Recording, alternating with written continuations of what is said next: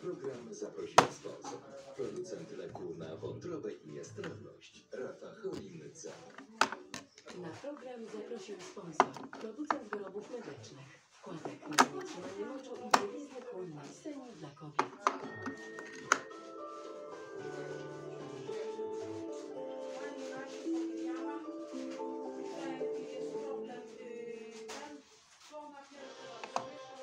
Za chwilę panorama, którą poprowadzi dla Państwa Adam Krzykowski.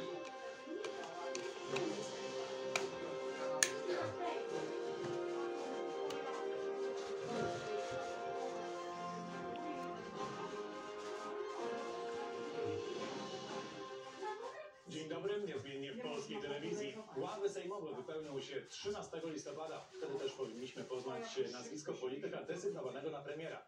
Na razie opozycja naciska na prezydenta, żeby ten jak najszybciej wskazał Donalda Tuska.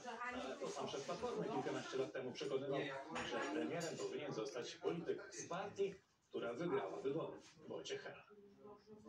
Wczoraj posłowie, dziś senatorowie.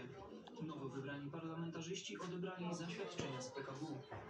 Najgorętsza dyskusja trwa jednak wokół Sejmu. Pierwsze posiedzenie tej izby ma się odbyć 13 Myślałam, że listopada. wujek was czymś uraczy.